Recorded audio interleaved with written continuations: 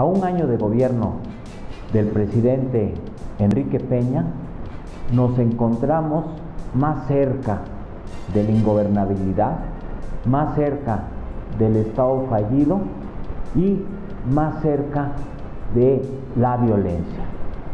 En el Consejo Ciudadano de Seguridad Pública y Justicia Penal acabamos de publicar un estudio sobre los municipios en los que se presenta la condición de Estado fallido. Y son 207, 100 más de los que había el año pasado.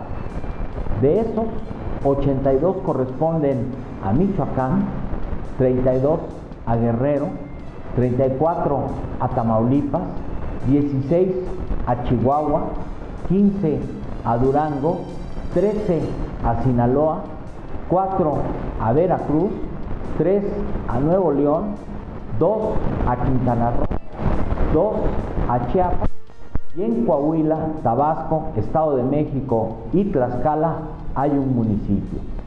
Estos municipios representan el 8% del total de los que tenemos y en ellos vive el 13% de la población nacional. Asimismo, observamos que en Michoacán y Tamaulipas son entidades federativas que se encuentran ya en la condición de Estado fallido. El resultado de esta condición es un elevado nivel de violencia, caos, destrucción de riqueza y empobrecimiento. Es la ingobernabilidad. ¿Cuántos municipios va a haber en estado fallido al final del sexenio si Enrique Peña no hace algo diferente?